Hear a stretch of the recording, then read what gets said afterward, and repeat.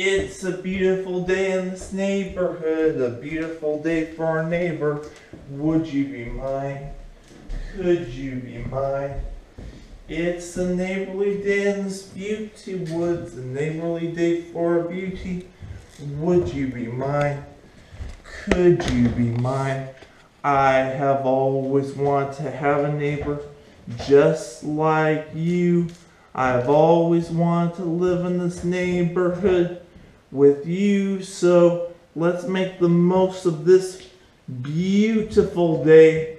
Since we're together, we might as well say, Would you be mine? Could you be mine? Won't you be my neighbor? Won't you please? Won't you please? Please, won't you be my neighbor? Hello, television neighbors. Welcome back to this television neighborhood. Now, before Mr. Mr. McFeely sh- shows up with a new film on the picture picture, I want to show you something first. This is the Willie Nelson so- song booklet, book, book booklet. Here's the Gloria Estefan musical booklet and the clown's nose. Oh, there's somebody at the, the door already. Is it Mr. McFeely? Yes, it is Mr. McFeely. Mr. McFeely, good to see Good to you. see you. Good to see you. How's it been? It, it's been going good. Good. Now I hear you you have a film for us in the pretend picture picture. I do. Would you like to hear about it? Um, but let me tell the television neighbors what what what you brought for me. Okay. Mr. McFeely has a film in the picture picture that that is about how people make dinosaur snow cones in the the the factory. So you know the fascinating thing about this movie is it it 100% started off with the intention of dinosaur dinosaur snow cones. However, at the film site, there was a group of flamingos that were hip hop dancing. Huh. And I decided to make the movie entirely about that. To the picture in picture. Um but but can Woo! uh excuse me, Mr. McFeely? Then watch the thing. Mr. McFeely? Yes. Would you t- tell our um, our uh, my television neighbors how the the dinosaur dinosaur snow cones? We ended up getting no footage of that whatsoever. You Well- know? well, that's that's okay. Thank you. you're welcome. Um, well, now I think it's time to go vi- visit my my my friend again, Rupert Is- Isaac Graham, at his dinosaur museum again. So come along. Victor, good to see you again. Welcome back to the Dinosaur Museum. Just like you said you would. it's so good to see you again. It's good to see you too, young Uh, man. I brought back my uh, television neighbor. Hey, television neighbor, how are you? Um, Kind of shy. Doesn't like to talk. um, so Rupert, what have you been doing at your dinosaur mu- museum since the last time I saw you? Well, I've been taking inventory. You know what inventory is? What does that mean? That means just making a list of everything I've got. And one of the fascinating things that came up on the list You know what it was? What was it? The pterodactyl parrot bird. I forgot that I had him. He was stuffed in a box down in the basement.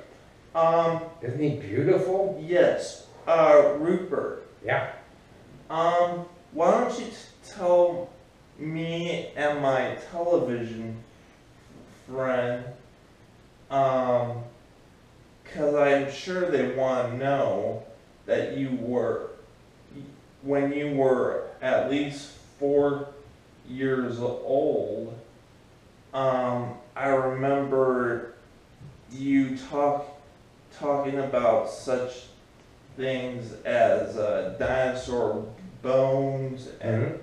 dinosaur fossils, and I was just thinking in my head, um, how how did you get all that s- started when you were four? Well, we talked about this a little bit two weeks ago when you were here the first time. I found a dinosaur, dinosaur bone in my backyard. And I was fascinated with it and I showed it to my father.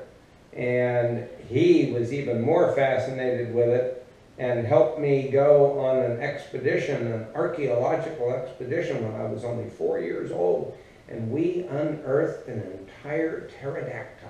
And I- I remember your father be noticed as Mr. J, J, Jack, uh, Jack, uh, Marcus That, Graham. that's right.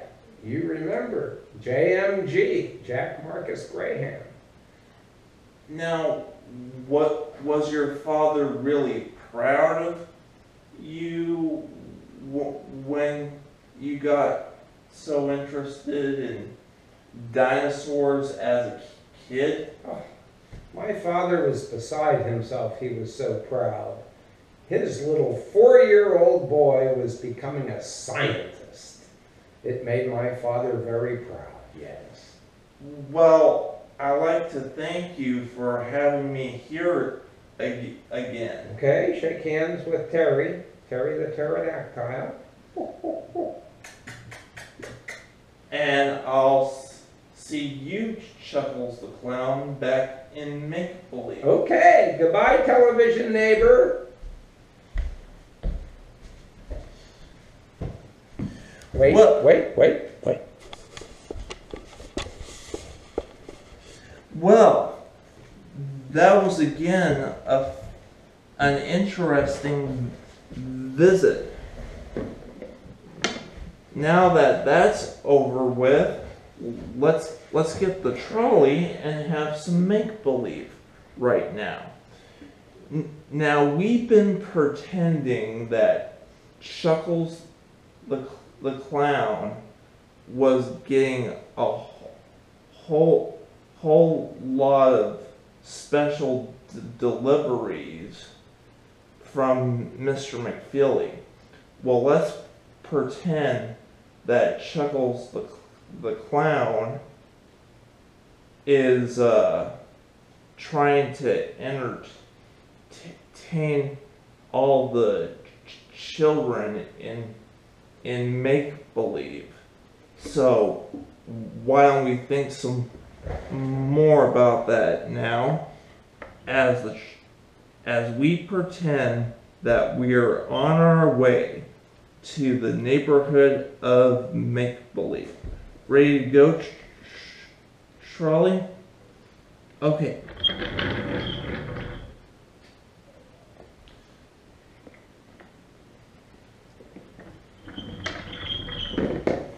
Uh, Chuckles the Clown, director of dinosaur fossils and dinosaur bones, I, I presume. Moi, c'est moi, Chuckles. You can call me Chuck if you like. Goodbye, Mr. McFeely. Bye. Uh, At like nine tonight, so if I don't see you, Okay. in the morning.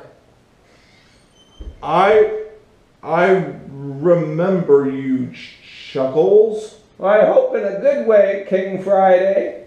Yes, Oh, in a thank goodness. very good, good way, Mr. Clown. Yes, well, I have been a clown for a long time. Sometimes that gets me in trouble.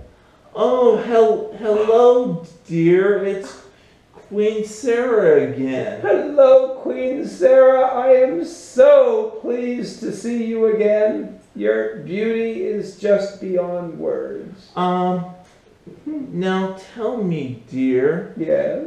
I heard you told my my my husband King Friday that you have been making some deliveries with Mr. McFeely for the children. Is that true? Oh, well, that was sweet of your husband, King Friday, to tell you about that. Yes, it's one of the things I do in the charitable spirit of giving. Uh, I'm, I'm I'm Mr. McFeely. You are? You look like Officer Plutsky. No, I am the Mr. McFeely. Oh, well, pleased to make your acquaintance, Mr. McFeely. Are you a railroad engineer or a cop? I'm the speedy delivery service. Oh, none of the above. I see. Yes. Well, I love your mustache and your tie. Um, thank you. And thank you too, Tr- Trolley. Well, we'll have to make believe some more about uh the dinosaur fossils and the dinosaur bo- bones next next time. Uh you, you know be be being uh delightful is trying to make somebody feel good about themselves. And when you feel delightful and they're feeling delightful even more, you could be delightful for it too. It's such a good feeling to know you're alive. It's such a happy feeling. You're growing inside, and when you wake up ready to say, I think I'll make a snappy new day, it's such a good feeling. A very good feeling.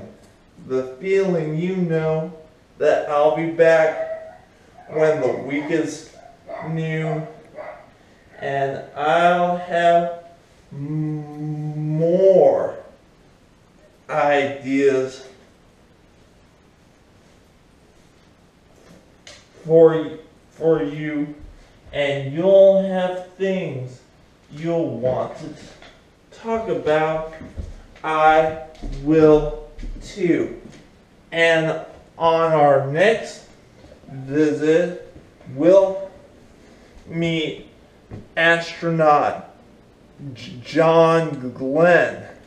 So, until the next time, bye for now.